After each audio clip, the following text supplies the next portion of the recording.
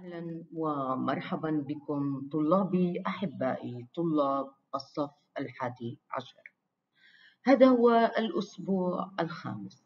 في هذا الفيديو سنسلط الضوء على أهم المحاور والموضوعات التي سنقوم بدراستها ومناقشتها خلال هذا الأسبوع الأسبوع الخامس. كونوا معي. موضوعنا في حصة هذا الأسبوع سيكون الأفعال التي تتعدى إلى مفعولين.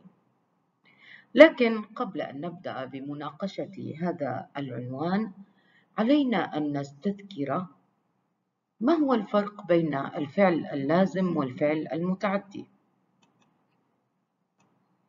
الفعل اللازم كما يظهر أمامك هو الفعل الذي يكتفي بفاعله ولا يحتاج إلى مفعول به ليتمم معناه. والفعل المتعدي الذي لا يكتفي بالفاعل يحتاج إلى مفعول به لإتمام المعنى.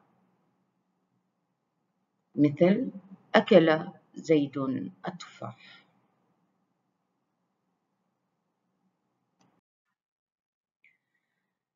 إذا هنا عرفنا أن الفعل المتعدي هو الفعل الذي يحتاج إلى مفعول ولكن ينقسم الفعل المتعدي إلى قسمين آخرين. الفعل الذي ينصب مفعولا واحدا كما في ألقى الشاعر القصيدة هذه جملة تامة المعنى لا تحتاج إلى إتمام أو إكمال. المفعول به هنا القصيدة. وكما فهم من النص أن الجملة, الجملة أتمت المعنى بمفعول واحد. هناك بعض الأفعال التي لا تكتفي بمفعول واحد بل تحتاج إلى مفعولين لإتمام المعنى. مثل ألبس سأل كسى منح أعطى وهب. مثال ذلك وهب الله الإنسان العقل. لاحظ معي عزيزي الطالب. الإنسان العقل. هنا الإنسان هو المفعول به الأول والعقل هو المفعول به الثاني. تعرب. الإنسان مفعول به أول منصوب وعلامة نصبه الفتحة الظاهرة على آخره. العقل مفعول به ثان منصوب وعلامة نصبه الفتحة الظاهرة. أيضا رأى علم وجد ألف ظن حسب خال زعم اتخذ صير رد حول جعل. هنا في قضايا لغوية والتي تتبع القراءة الآيات القرآنية الأفعال المتعدية إلى مفعولين تنقسم إلى قسمين. كما ذكرت لكم أفعال تنصب مفعولين ليس أصلهما مبتدأ وخبر. مثل أعطى منح سأل منع كسى.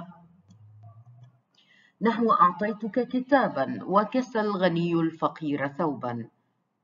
أريد أن أنوه أن الكاف هنا هي ضمير متصل مبني في محل نصب مفعول به أول. قسم ينصب مفعولين ليس أصلهما مبتدأ وخبر. وهو نوعان أفعال القلوب التي تنقسم إلى أفعال اليقين رأى علم وجد درى نحو رأيت العلم نافعا رأى ليست رأى البصرية عزيزي الطالب رأى هنا بمعنى علمت أو عرفت فتسمى أفعال اليقين. أفعال الرجحان مثل ظن حسب زعم. وعد. نحو ظننت المسألة سهلة. أفعال التحويل مثل جعل صير رد. نحو جعل الربيع الأرض جنة. بعد ذلك عزيزي الطالب سننتقل إلى إعراب ما تحته خط. وكل الإعرابات التي تراها هنا هي أفعال متعدية إلى مفعولين. ونريد أن نميز المفعول الأول والمفعول الثاني. أيضا السؤال الثاني يقول استخدم الأفعال الآتية في جمل مفيدة بحيث تنصب مفعولين.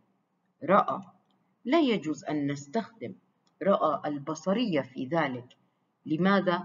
لأن رأى البصرية بمعنى شاهدت هنا تنصب مفعولا واحدا فنقول رأيت السماء. هذا ليس فعل آه، متعدي إلى مفعولين. بينما رأيت بمعنى عرفت أو أدركت رأيت الحق ظاهرا. لاحظ معي. عد بمعنى حسب ورد أيضا. هذا هو عرض سريع لما سنقوم بتناوله خلال الأسبوع الخامس من هذا الفصل. أتمنى أن أكون قد وفقت فيما قدمته لكم. طاب نهاركم بكل الأمل والخير والبركة.